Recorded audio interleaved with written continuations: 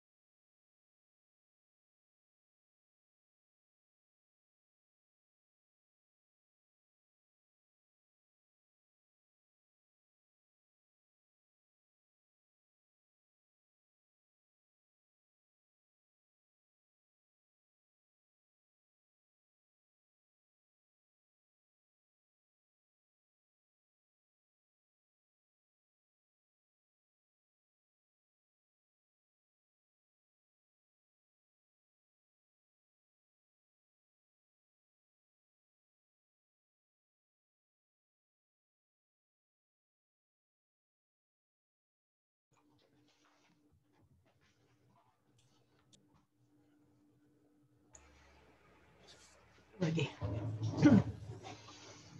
okay. Um, it is my huge honor to welcome you at this session. Thank you, Professor Tsenkova and uh, the organizers. And we will start now uh, a very exciting session. Water structure, new insights and implications. I think this is a particularly exciting and important topic oriented towards the very core of aquaphotomics, the intricate nature of water itself. And let me introduce to you our first speaker, Christina Maria Tonauer, who is a PhD candidate in the research group of Professor Thomas Loerting at the Institute of Physical Chemistry, Leopold Franzens University in Innsbruck, Austria. During her master's uh, studies, she focused on synthesis, crystallization, and characterization of high-density amorphous ice. Her thesis, Glassy nuclei in amorphous ice, novel evidence for the two liquids nature of water, was awarded by Springer and appeared in the Springer Spektrum series Best Masters. Christina is a recipient of a DOC fellowship of the Austrian Academy of Science, ÖAW.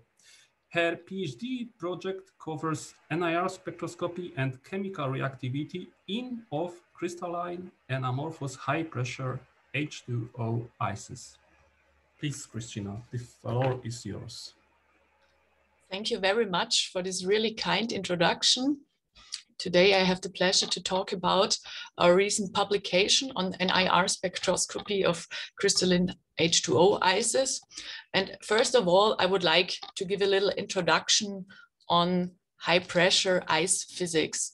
Therefore, I would like to give you a little uh, or show you the phase diagram of water and first of all, I'm always overwhelmed by this huge number of crystalline phases that are uh, available for water. So the Roman numerals only tell us the order of discovery. So for example, ICE2 was the second polymorph that has been discovered and ICE6 is the sixth form.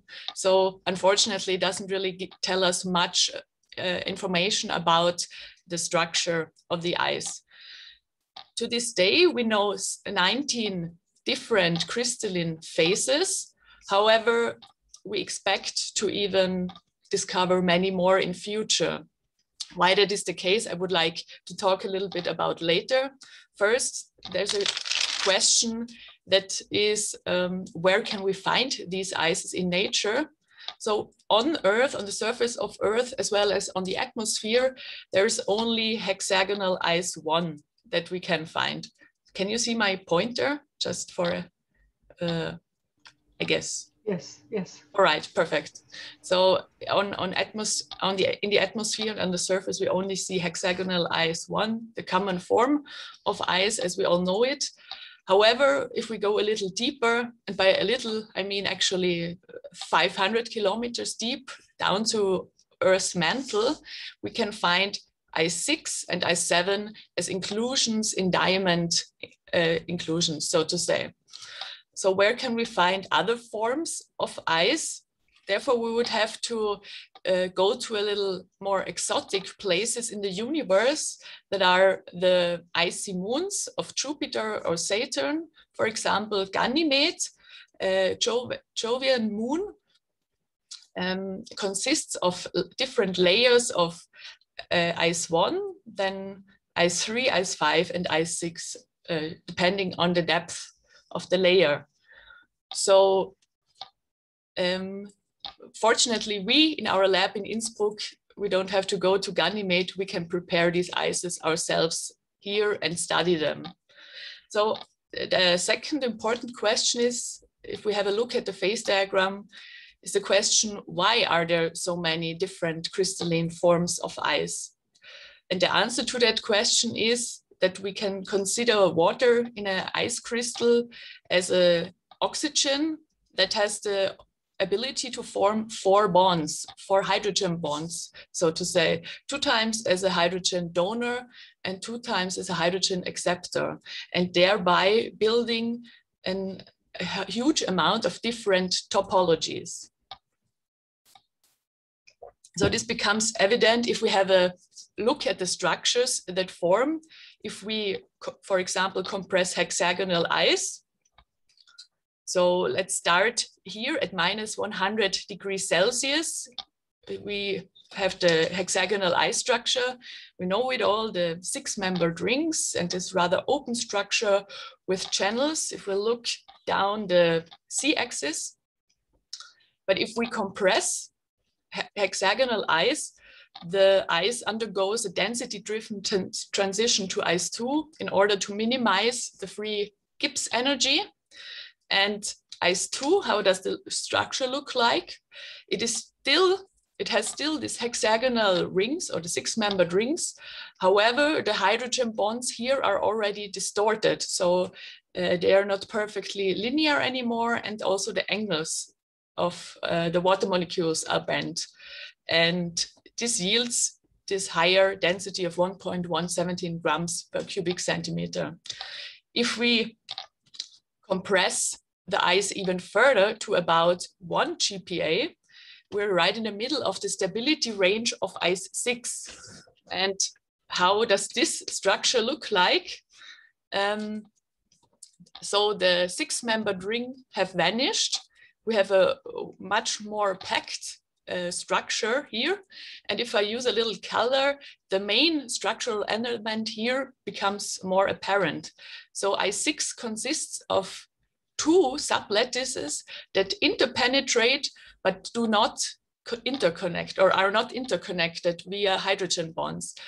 And therefore it is called a self-clathrate structure. So what does that mean? A self-clathrate, so a cage structure in itself.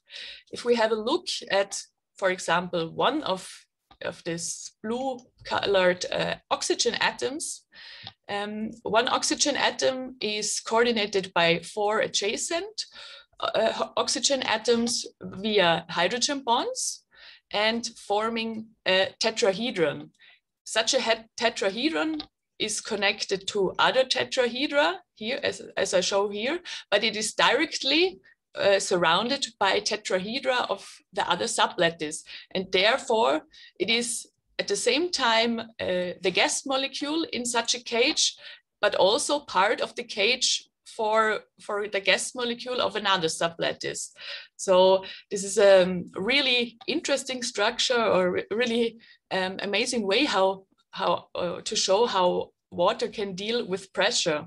So what happens with the ice structure if we even increase the pressure more, increase it to about several hundreds of GPa, uh, if we do that, we will see that atomic solid ice 10 forms. So what is ice 10? How does the structure look like? Ice 10, in ice 10, the water molecule is not a water molecule anymore because uh, at these high pressures, there's hydrogen bond symmetrization happening. So that this means that the hydrogen cannot be assigned to any one of the oxygen atoms where it is in between. So um, this is also a very interesting structure. And there are even more um, ice structures uh, hypothesized that form upon higher pressures, even higher than that, that um, maybe have even metallic features. So I think um, if we have a look at these structures here, it is quite clear that oxygen can form a high number of different networks. However, there are also other um, phases that are not connected to the melt, but are um, but form upon cooling of other crystalline phases. And I show them here with the white arrows. These are the so-called density, uh, entropy, sorry, entropy-driven transitions. So in order to understand where this release of entropy or this ordering um, comes from, upon cooling, I should introduce the concept of hydrogen ordered and hydrogen disordered ice phases. And to do so, we should remind ourselves of the Bernal-Fowler rules or the so-called ice rules. They say that a, um, a water molecule in ice is similar geometrically uh, to a free H2O. So the bond lengths and the bond angles are similar than a, uh, to a H2O in the gas phase. Then the second rule says that a central water molecule is tetrahedrally coordinated by the adjacent H2Os forming hydrogen bonds. The third rule says there's only one hydrogen between two oxygens. And the fourth rule says any configuration satisfying the first three rules is equally probable. So in this sketch here on the left-hand side, I, I sketched the six possible rotations of a central water molecule that are possible according to these rules. So um, here I, I, I drew, drew, the dipole moments here, and I hope it's obvious that these six possible configurations um, can form. So what is a hydrogen disordered ice? In a hydrogen disordered ice phase, any of these six uh, rotations of a central, of any uh, chosen uh, central water molecule are on average equally distributed. Whereas in a hydrogen ordered ice, this is not the case. So there are certain orientations that are favored more. For example, here I will want to show the example of ice 3 and ice 9. And we have to keep in mind, both of these ices have the same oxygen network, but have, but have a different hydrogen ordering. Ice 3 is hydrogen disordered, completely hydrogen disordered, whereas ice 9 has two favored orientations. So the dipole moments, the, the orientations of the dipoles alter uh, as I show it here, forming an anti-ferroelectric hydrogen ordered ice phase. So it's obvious that this ordering has uh, a, high, a big impact on the electrical and also mechanical properties of the different ice phases, even though we keep it in mind, the oxygen sublattice is the same. So here I, I, wrote down values for the electrical permittivity. And in disordered ices, it is about or, or more than 100, whereas in ordered phases, the, um, the electric function is another word, uh, is close to one. So here, the, the white arrows now, as I showed them before, connects phases that share the same oxygen sublattice, but are differently ordered. Ice 1 is disordered, and upon cooling below 72 Kelvin, it orders to ice 11. However, it is not necessarily the case that there's only one ordered form, but there can be more than one ordered form corresponding to, to a disordered form. This fact has been shown very recently, actually by our group. So my colleagues Tobias Gasser and Alexander Thoeny, together with Professor Loerting, could show that there's a second ordered form related to ice 6 that is ice 19. And this um, was also shown by a Japanese group. So both of these uh, studies appeared in Nature Communications about one month ago. So very recent uh, results. So in this introduction, I hope I could show you that or why high pressure ices are such interesting materials. They show this wide range of different hydrogen bond topologies.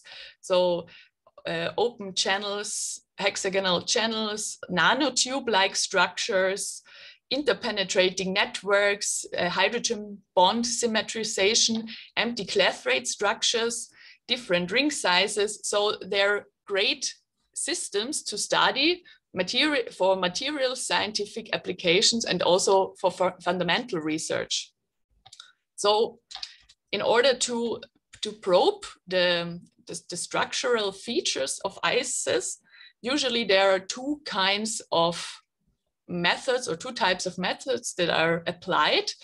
Um, firstly, that is diffraction methods. So um, neutron diffraction or X-ray diffraction experiments. And also the second method is vibrational spectroscopy.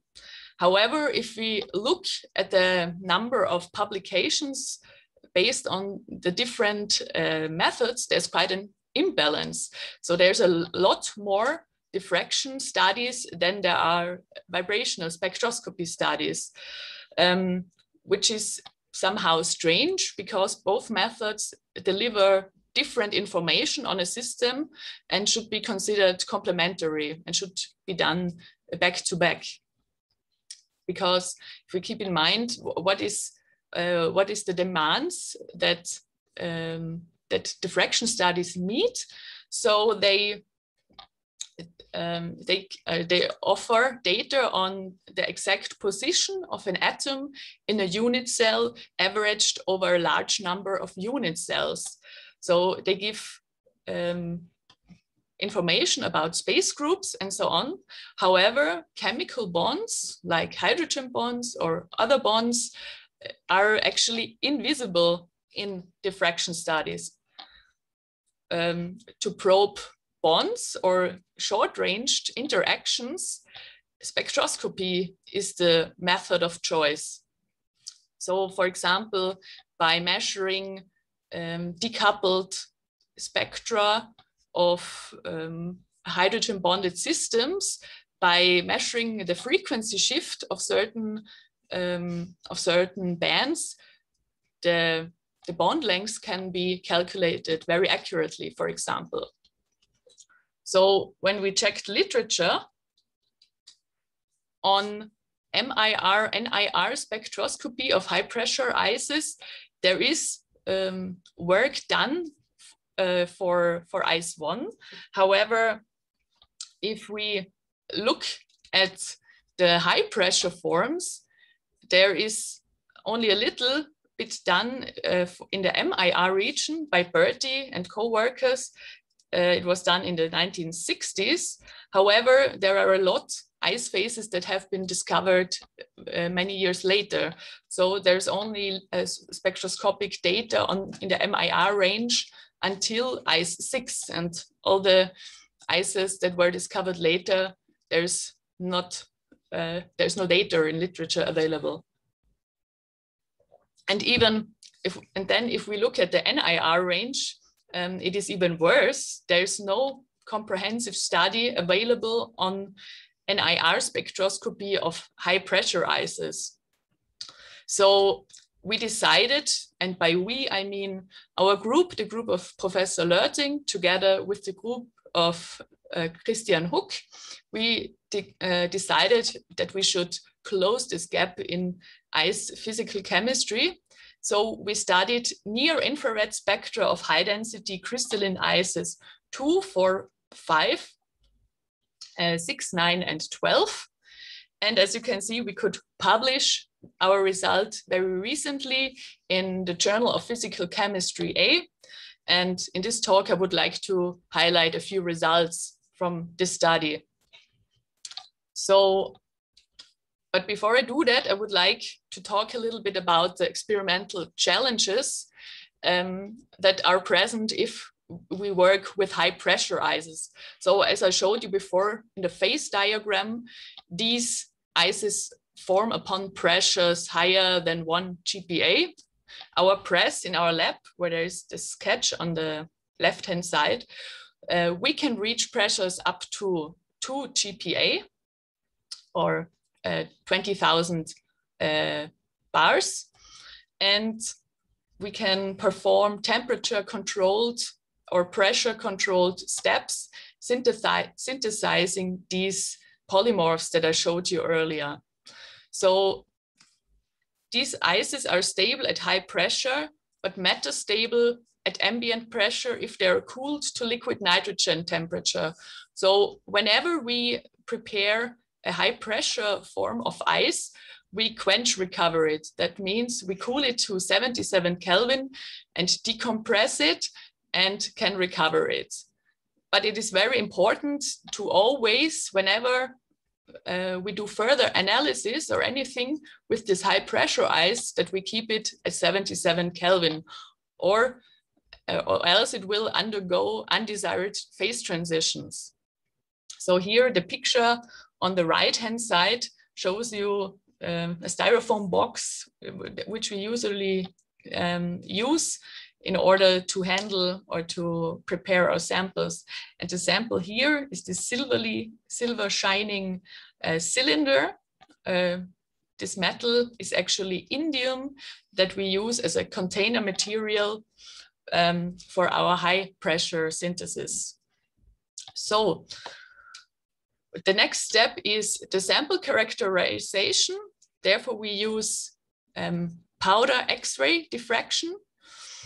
And the same applies for, for this measurement as I said before. So we have to powder or sample in a styrofoam box with uh, the instruments that we use, the scalpel, the spoon, whatever, um, cool to liquid nitrogen temperature. And as you can imagine, the transfer to the sample chamber is a really crucial, crucial step. And the sample must not be warm up, warmed up at this point. So we measure these samples at um, uh, low temperatures, so 17 Kelvin with our helium cryostat. And there we get the, the, the structure, the powder from the powder X-rays. And now the final step in our study, or the most interesting one, are the NIR measurements of the high pressure ices. Therefore, we used the Büchi Nirflex N500 FT NIR spectrometer in the Huck lab. And we, we measured in diffuse reflectance mode. This mode has this has the big advantage that we can fill our cuvettes with powdered ice. So due to gravity, the powder will sink to, to the window. And on top, we can still fill the cuvette with liquid nitrogen. So the ice is cooled to 77 Kelvin during the whole measurement. So uh, we fill a cuvette, put it in the optical path of the spectrometer, and um, we conducted measurements that lasted about 16 seconds, collecting enough spectral data. Um, and before the before the ice warmed up. So at all times of this uh, experiment, the the ice sample was cooled to liquid nitrogen temperature. And this is uh, the main challenge, or this is the big advantage of this method here. And probably also a reason why it took so long until high pressure ices were characterized in the NIR region. So here, just a little, um, just a slide about how we then evaluated the NIR spectra. It's of course very short here shown. So we calculated, uh, we measured in diffuse reflectance mode, as I already mentioned.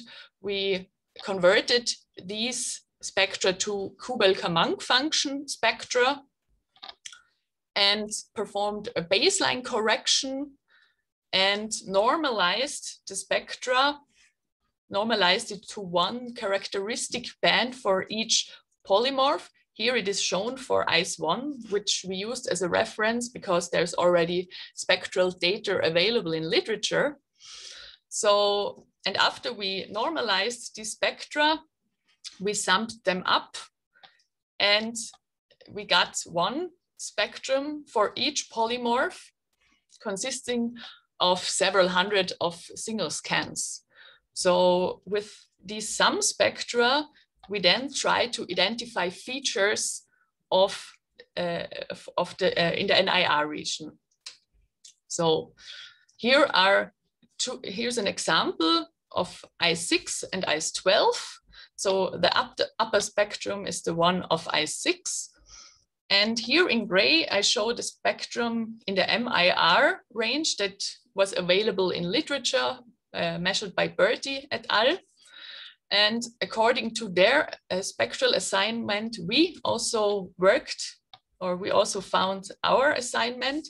So the most important features as we figured out for uh, analysis are the first overtone of the nu OH uh, stretching vibration as, uh, at around uh, 6,500 and the combinational band at around 500 wave numbers, which is the combination band of the stretching vibration nu OH plus bending vibration and the stretching vibration plus the first overtone of the libration. And so these features are quite similar for all of the high pressure ices. They can also be found in hexagonal ice. However, there are frequency shifts present. And in, in the next slide, I would like to uh, show you one uh, analysis we performed. So we had a, here at the panel A on the left-hand side, we uh, compare the different high pressure ices. And what is, which is really obvious is this feature for hexagonal ice that is at about 6,050 wave numbers. And this feature undergoes a blue shift in the high pressure ice forms. So we figured, aha, maybe this is a good indication for density, this band and the related band shift for each um, high pressure form. So what we did was we plotted this blue shift against density here in panel C. And as you can see, there's a quite nice um, correlation with density. However, there are two outliers, which are ice 12 and ice 4. And we were not really satisfied with, um, with the interpretation that these are just outliers. So we were looking for another interpretation. And Therefore, the study, the theoretical study of Herrero and Ramirez really helped us. They did a study on topological characterization of crystalline ice structures. And what they did, it what they defined um, topological density. So what is a topological density? It is basically the question with how many um, water molecules is a central molecules collect, uh, connected in the first, in the second, in the third, or in the four, 40th coordination, coordination shell. And as we can see here in the graph at figure one, uh, at low coordination shell numbers, this is very similar for, uh, for every ice polymorph. Of course, if we think about the first coordination shell, um, is the same for every ice because a central water molecule is connected with four other water molecules via the hydrogen bonds. However, this coordination number changes with um, increasing topological density and topolo uh, uh, topological distance, sorry. Topological distance is defined by number of hydrogen bonds. And in this graph, we can see that, for example, ice 12 is very dense. So the slope of this parabola uh, increases faster than the slope of I6. But if we think back, um, I showed you the structure of I6. It is the structure with the interpenetrating uh, networks. It, it becomes obvious that I6 is not connected to as many um, other water molecules because um, since these um, subnetworks are not connected with each other. So by, uh, by calculating the slope of these parabolas, before they, they could calculate a, pa a parameter A and calculate of, out of this parameter an expression for topological density. And um, this is actually what we then plotted against this blue shift of this band here in um, panel C. And you can see this is a very nice uh, correlation that we can see here.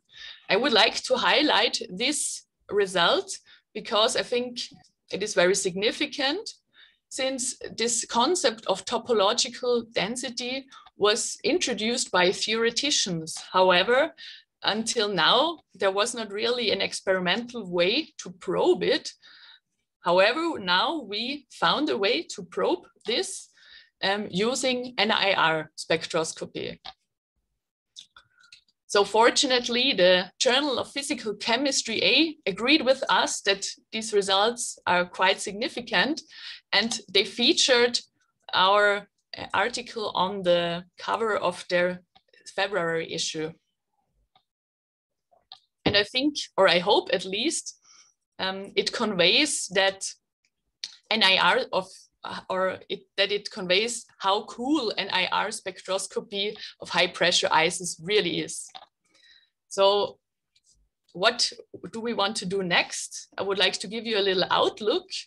So we really look out into space.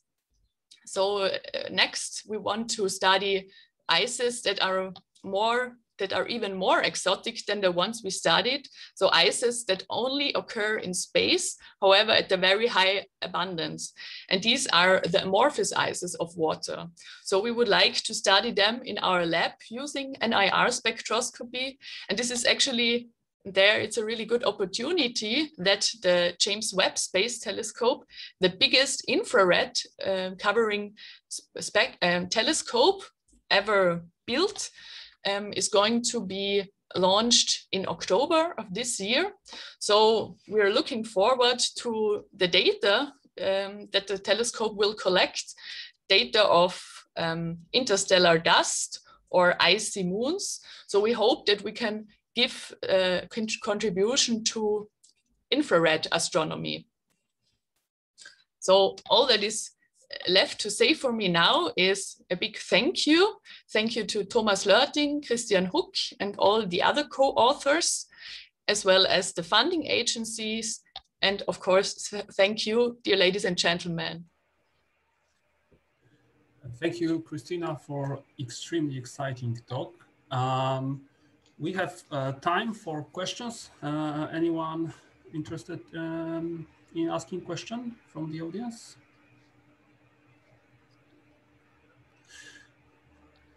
Okay, um, I would like to ask about two things a bit related to each other. Mm -hmm. um, uh, firstly, uh, what are the locations in the universe uh, where this very high density ice uh, can form? This is one thing. And the other thing, okay, maybe you could please mm-hmm. answer. Mm -hmm. Yeah, um, as I mentioned before, there's there are icy moons um, around um, Jupiter and uh, Saturn. And of course, on the surface, um, um, we expect the low density force. However, these moons have also tectonics. So we, ex um, we expect that the high pressure forms from uh, deeper layers would come up to the surface um, by tectonics which is also how the inclusions, the diamond inclusions of I6 and I7 were found on Earth. So due to uh, tectonics, but also um, impacts of um, ionizing um, beams, ionizing um, radiation could also be a possibility how to form these high pressure ices. Okay, okay. Mm -hmm. and the second question is related to the other, um, let's say, boundary. This um, uh, ices uh, with minimal entropy, what would be the mechanism uh, of this minimization of, of entropy for them?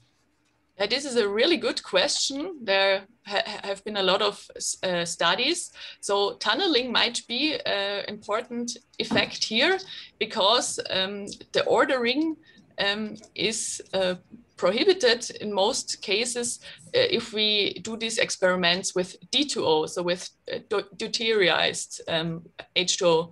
However, how, how we over overcome this problem is that we um, introduce um, dopants into the ice lattice, so HCl or KOH, So we have actual, um, we have um, defects. So there's there may be sometimes there's no hydrogen between two oxygens or two hydrogens, and these defects they um, um, increase the kinetics of such an ice, so that we can even um, form hydrogen ordered forms in deuterized samples. But to your question, tunneling is certainly uh, a big effect here.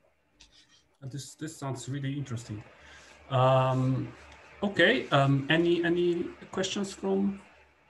Yeah, I, I can can I have a, a, a, comment and, and question? Yes, sure. Yeah, thank you very much for. Uh, it's very fascinating, and and when I read your paper, and when I saw the the spectrum of ice, um, the real, um, it is so similar to the spectrum of the water. um, to make it closer to aquaphotomics. Um, I I was thinking um, your experiment, as you described it, uh, you, you, use liquid nitrogen to keep the low temperature, but mm-hmm. it is not possible forever, right? So have you thought about monitoring this ice over different temperatures?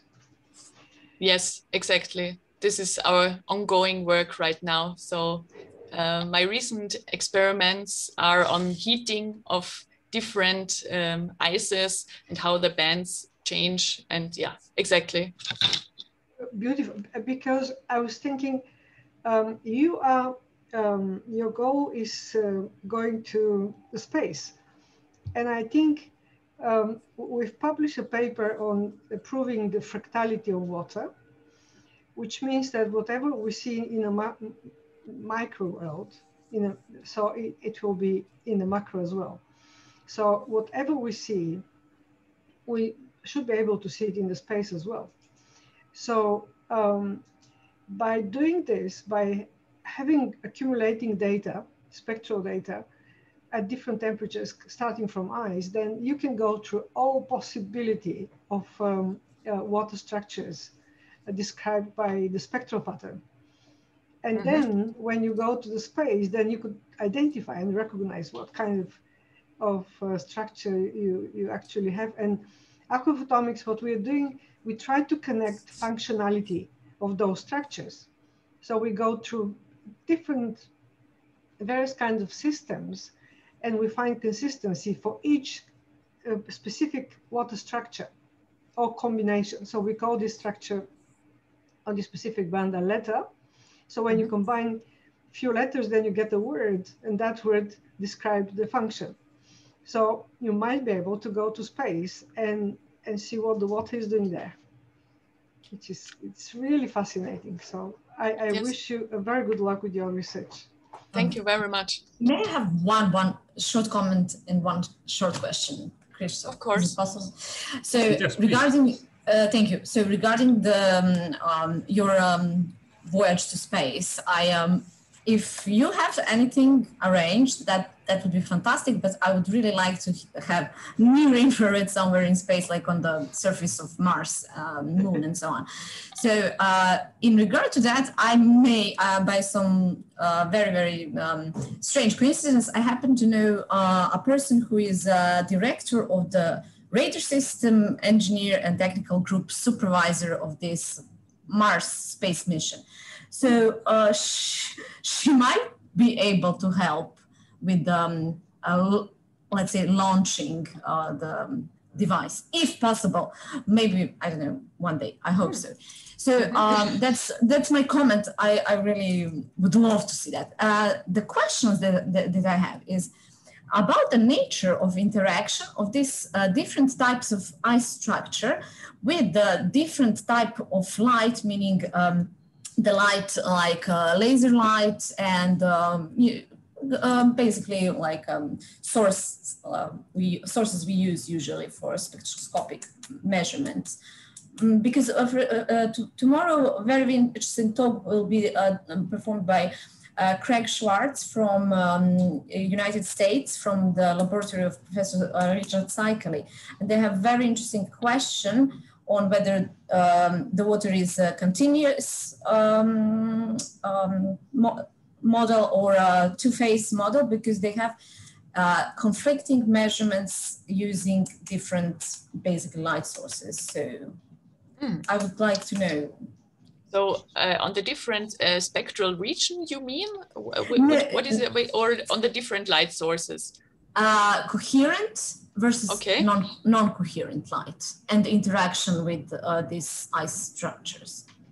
Mm, there, I think there's not really much work done on that, -huh. Uh, on that question, since uh, as I showed before, there there's in the NIR range or also in the UV range, uh, where we expect uh, a shift of this uh, absorption edge. So there's really not much data and also not much data or so not known to me data on different interactions based on the light source. So um, I don't think that there's anything in literature on that. Thank you. Sorry. Thank you. Okay. Um, unfortunately, the time is over. Uh, but I can see uh, some questions in chat. Maybe uh, the discussion okay. could somehow follow in the chat. Um, thank you, Christina, for extremely exciting talk. And now uh, let me introduce to you our next speaker, uh, Dr. Justyna Grabska, who obtained her doctorate in physical and theoretical chemistry from University of Wrocław in Poland. Her thesis uh, focused on developing new methods of analysis of vibrational spectra and physical chemistry.